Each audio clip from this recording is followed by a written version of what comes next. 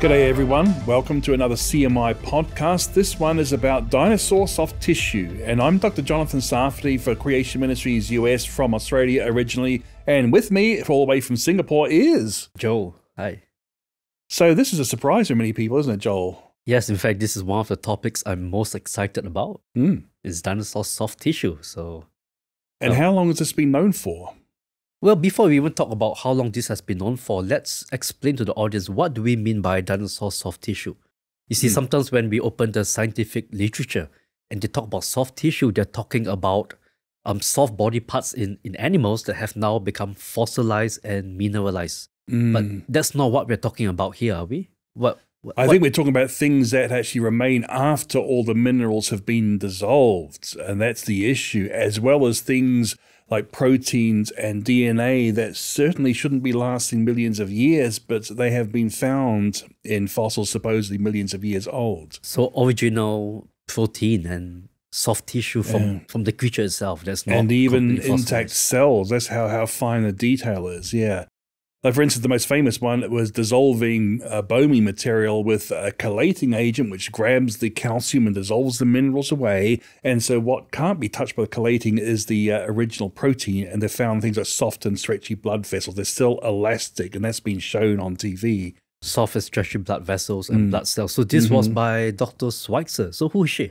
Who is Dr. Mary Schweitzer? Oh, she's a lady from Montana who uh, studied under Jack Horner, who's a famous dinosaur expert.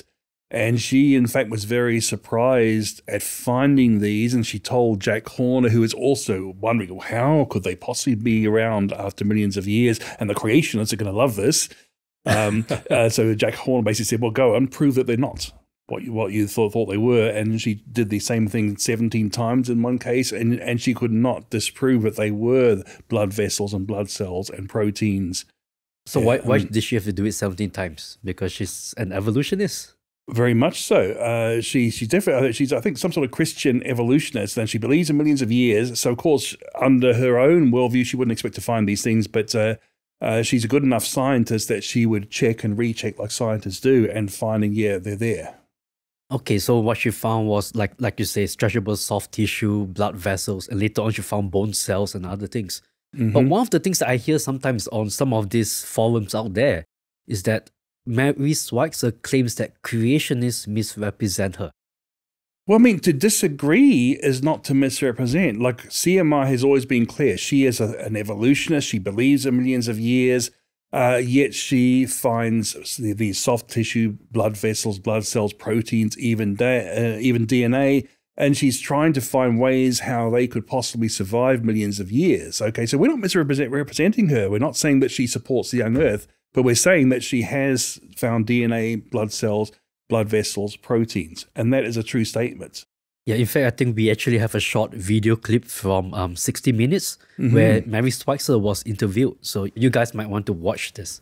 What happened next happened by mistake.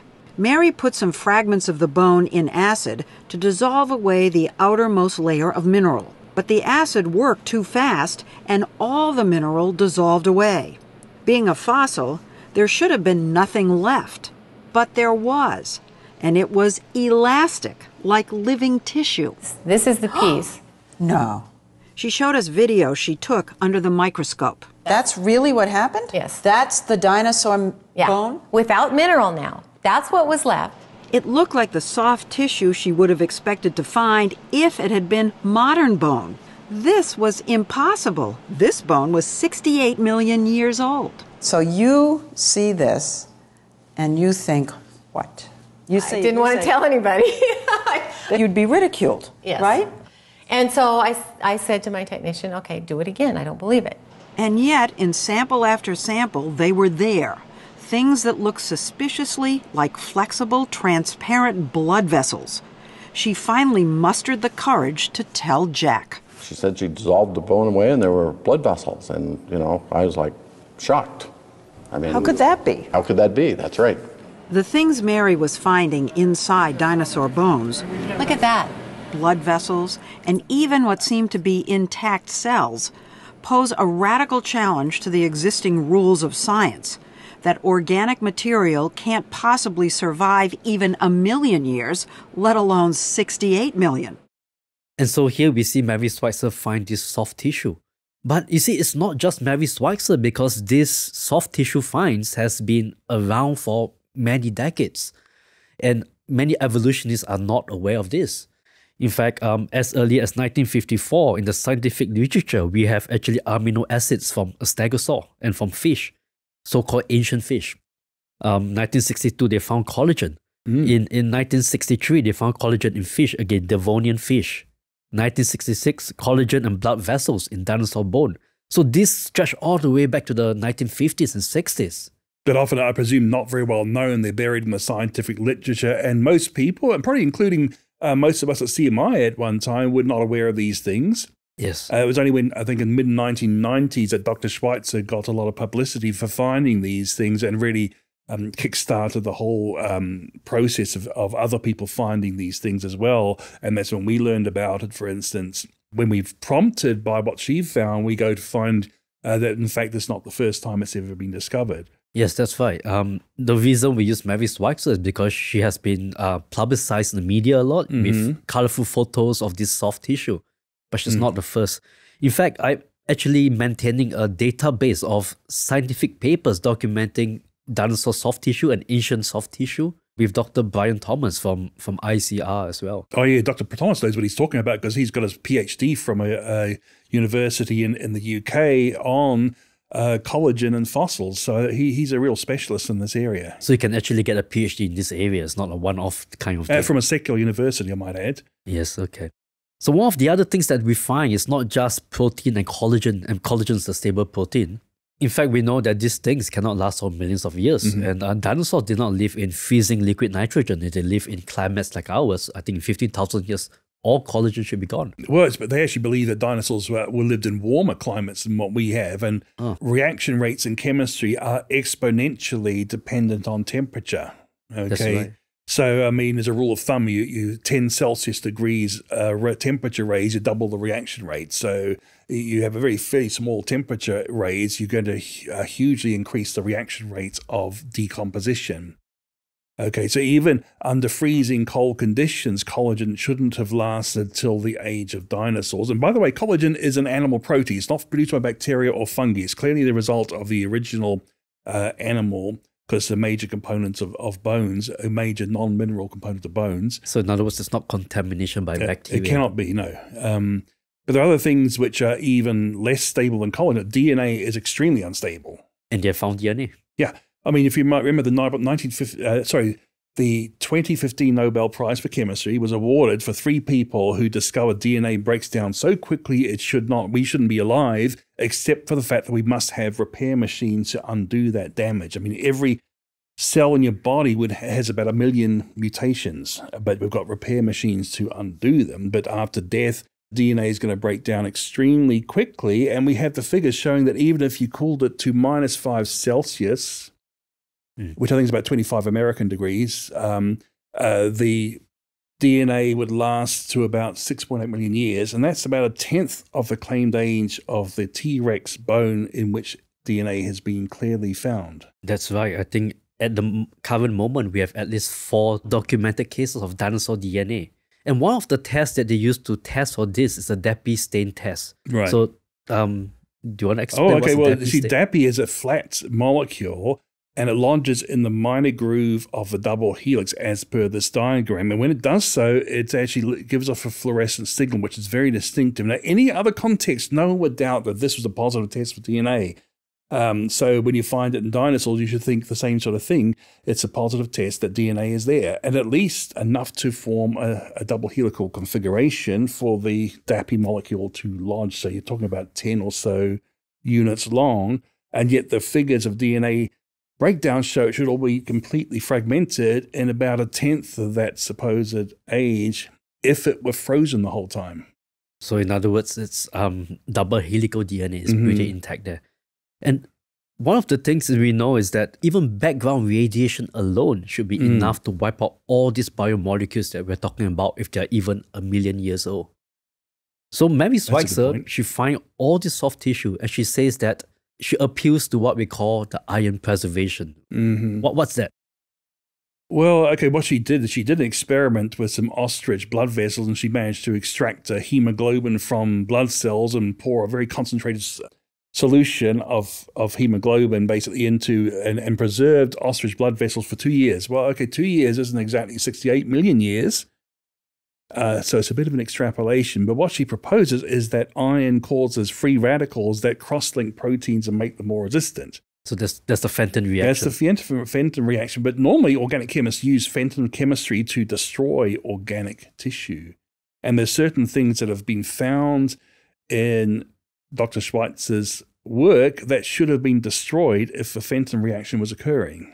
so in other words, she doesn't really know what she's talking about. Well, I think Fenton she's well, I think it's inconsistent. You can't uh, once you propose a reaction, it's going to do what it does. Like, you can't say it's going to do this, but oh, it won't do this thing. But we're observing it's these things are found. Therefore, it's good evidence that Fenton has not been responsible for, for preserving it. That's interesting because Hmm. I think if you go on 80s websites, they, they always appeal to this Fenton reaction. And what you're saying is that Hmm. the Fenton reaction would produce byproducts that will actually degrade those biomolecules faster. And I don't see how Fenton would actually preserve DNA because because DNA is a totally different background. So not amino acids, it's a phosphate and sugar, and an iron would not help preserve DNA. And I, I think what's interesting is that many of these so-called ancient soft tissue that we Mhm. find it's not just in dinosaurs. So they can't they can't Mm, just appeal to Fenton reaction for preservation in dinosaur bones because it's not just dinosaurs. That's a good point too, isn't it? In fact, I think that um, dinosaur is the least of the evolutionist um, worries because using the evolutionist dates, what's the oldest sample we have? It's actually 2.5 billion year old. whoa, that's We have original biomolecules still. That's a huge issue for them. and that the 2.5 million years makes dinosaurs look like spring chickens. That's uh, by evolutionary dating, yeah. Right, and this is from uh, algae and from other Mhm. molecules. And in fact, I think if you look at if you take that as as what it is, looking at the so-called geological column using evolutionist dates, it can go all the way down to the lowest layers of fossils, Mm. and we still find original biomolecules. That's a huge problem for them, I think. Right. I think dinosaurs, of course, are the most famous of these ancient creatures, but uh, I think what you say actually is, is more of a problem, yeah. Yeah, so it's more than Mary Schweitzer. It's more than just dinosaur. This is a massive problem for evolution, um, and for the idea of millions of years. So at this current time, we do not have just one or two papers. We have 59 documented cases Ooh. in the scientific literature, circular scientific literature of dinosaur biomaterials, spanning over 31 different scientific journals. And like we Whoa. explained, we don't just talk about dinosaurs, but we just but we talk about um, marine reptiles and birds and and things like that. We have 119 publications. That's a lot. I think mosasaurs have had some things like even some of the eye proteins have been are still there. yeah, in fact, it's almost every other month that we have a new documented case Mm. in the scientific literature. Because now I guess people are more and more expecting to find them. At one time, they wouldn't have been looking. And what if you don't look for something, you don't generally find it. But now they're finding it, which I think is a tacit admission that Dr. Schweitzer did find what she claimed to have found. Yeah, in fact, earlier on we mentioned the database that um, we catalog all this. In fact, one, one other thing that's interesting is that we actually find carbon 14 in dinosaur bones. Do you want to elaborate on why that's an Oh yeah, because see, carbon fourteen. See, it can't prove millions of years because carbon fourteen is a very fast decaying radioactive element. Its half life is about fifty seven hundred and thirty years. So after one half life, you've got half of it left. After two, there's a quarter. After three, there's an eighth, and so on. Is there's only about a millionth of the original stuff, and it starts off as one in every trillion carbon atoms as carbon fourteen. So it's going to be below detector limit after about 20 half lives. So if we're detecting carbon 14 at all, um, it can't even have been a million years old. It can't even really be 100,000 years old because otherwise it, we, it should be below detector limit. And yet here we are finding it in dinosaur bones and coal alleged 300 million years old, in diamonds alleged to be billions of years old. They're all got carbon 14, but they shouldn't if if they're that old. So it's a choice. Is carbon 14 a reliable dating method, or are these things millions of years old? You can't have both. In fact, we actually have a talk on radiocarbon dating and carbon 14, so do check Mhm. that out. Yep. Let's cover one of the objections that people always say. When we point out that there's carbon 14 in dinosaur bones, they always say, oh, that's contamination. How would you respond to that? Well, it's interesting. They they resort to contamination when it doesn't suit their theory, but if creationists ever propose that, we're just being biased. You see, see they seem to want it only for their own anomalies. The thing is, uh, there's also carbon 13, which is another type of carbon. I think about one in every 109. What's that? What's carbon 13? Well, okay, uh, see, carbon is every element with 12 protons as carbon. Uh, most carbon has 12 neutrons, adding up 6 plus 6 is 12, so it's carbon 12. About one in every 109 is carbon 13, so 6 protons, 7 neutrons. Carbon 14 has 6 protons, 8 neutrons, okay, um, which is one in every trillion. Uh, so you can actually do a cross check with carbon 13 composition and just show that it's it's not the result of contamination. It gets a bit technical, but they do have contamination cross checks that are standard, and these things are not contaminated. Okay, so just to put that in in layman's term. Oh gosh. Um, carbon, radiocarbon labs that they, these things they not only measure carbon 14, but they usually measure carbon 13, and carbon 13 allows them to account mm. for modern contamination. So yes, what you're right. saying is Mm. that if they have already accounted for modern contamination, we cannot appeal to contamination anymore. Right, and what other things they can say? Or oh, is it the result of a bombardment of nitrogen atoms to make carbon, and that's how carbon 14 is produced in the atmosphere. Cosmic rays bombard nitrogen 14, make carbon 14. But if that was the explanation for carbon in these fossils or diamonds or coal, um, then we should find a correlation between carbon dating and nitrogen content, which we don't find. And if we did find it, it would make carbon 14 pretty useless as a dating method. So in other words, the contamination, um, the excuse doesn't work for them. Well, I think uh, you may as well throw out carbon 14 as a dating method if, if in fact that's what you're going to resort to.